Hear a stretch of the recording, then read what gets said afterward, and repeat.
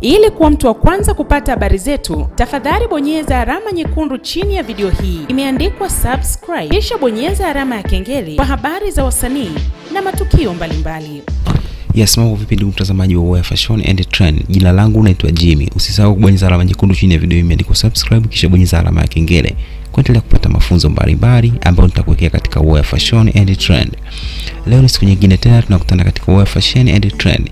Leo naenda kuzungumzia kitu kimoja ambacho watu wengi sana kimekuwa kikiwatesa. Issue ambayo tunaenda kuiangalia leo ni jinsi gani unaweza ukakata kitunguu ama ukakata kitunguu maji pasipo kutokwa machozi. Hii imekuwa ikiwatesa sana pande zote mbili, kwa wanaume pamoja na wanawake. Imekuwa ni tatizo kubwa sana. Sababu kubwa ni kwamba katika kitunguu kuna kemikali. Kemikali hiyo inatoka katika njia ya mvuke. Pindi unapokata kitunguu, mvuke huo unatoka. Pindi mvuke huo unapotoka, unaenda moja kwa moja katika macho, unaenda kuathiri mfumo mzima wa macho na hatimaye kupata maumivu makali. Unakuwa umeingiliwa na kemikali ambayo inatoka katika kitunguu. Sasa leo naenda kufundisha mbinu rahisi na mbinu ya kipekee sana, na jinsi gani unaweza ukakata kitunguu chako na hatimaye ukajikuta ni mtu ambaye hutoi machozi wala ni mtu ambaye haulii tena. Hii ni ya kipekee sana, watu wengi hawajawahi kufahamu hii. Swala la kwanza, kabla ya yote, kabla ya kuendelea, naomba tuamini katika kile ambacho nitakwambia.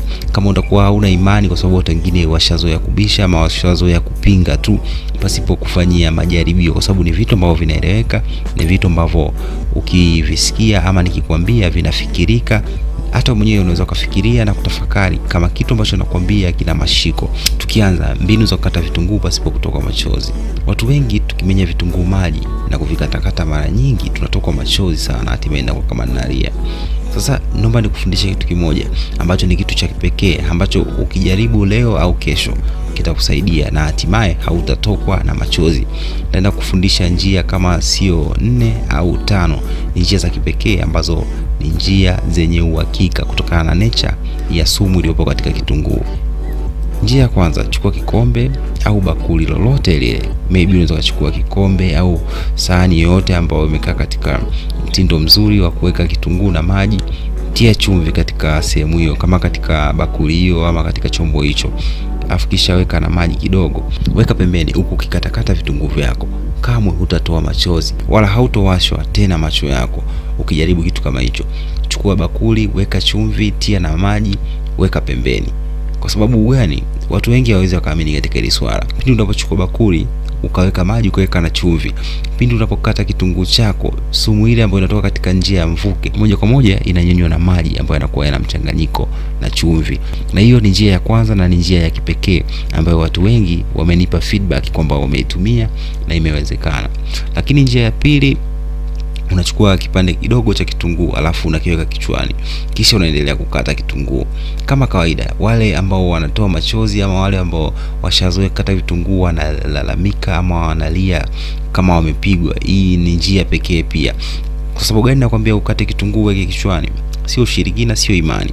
Pindi unapokata kitunguu na kuweka kichwani, unapoanza kukata kitunguu chako kwa ajili ya kutengenezea maybe mboga ama kitu chochote kile, nishakwambia mvuke ambao unasababisha wewe utoe machozi ni mvuke ambao unatoka katika kitunguu ama kemikali inatoka katika kitunguu.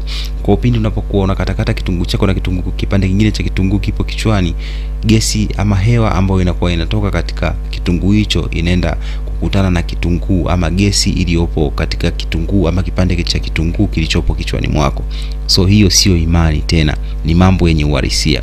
Na njia ya tatu, kuna wengine anaweza kawa na karoti, ana vitunguu, ana hoho, ana nyanya kwa anachokifanya anavichukua vitu vyake vyote ambavyo anahitaji kutengenezea mboga ama kutengenezea chakula, anaviweka katika maji.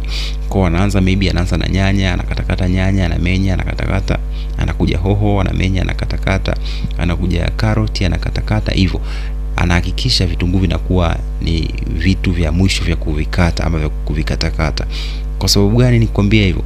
Pindi anapokuwa anaviacha vitunguu katika maji, maji yale yanapenya taratibu, yanaingia katika kitunguu na hatimaye yanamaliza sumu ya gesi ama hewa ama kemikali inayotoka katika kitunguu.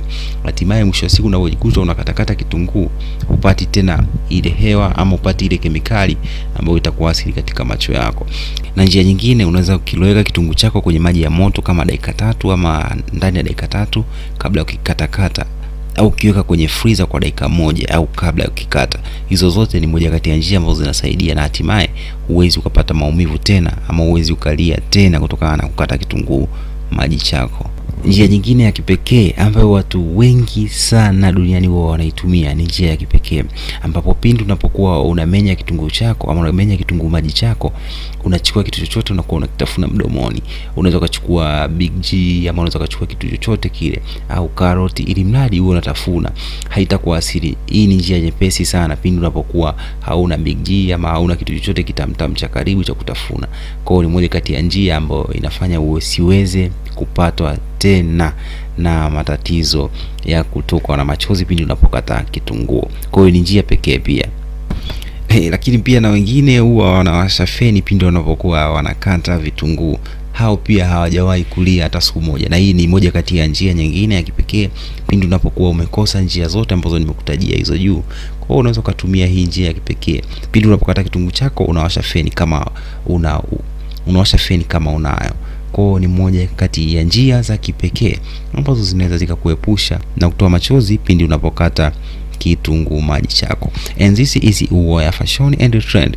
Tafadhali bonyeza alama nyekundu chini ya video hii imeandikwa subscribe, kisha bonyeza alama ya kengele. Utapata matukio mbalimbali yote ambayo tutakuwa tunakuwekea, bila kusahau entertainment, michezo na burudani na stori zote kuhusiana na wasanii. Na kutakia siku njema, langu jina naitwa Jimmy.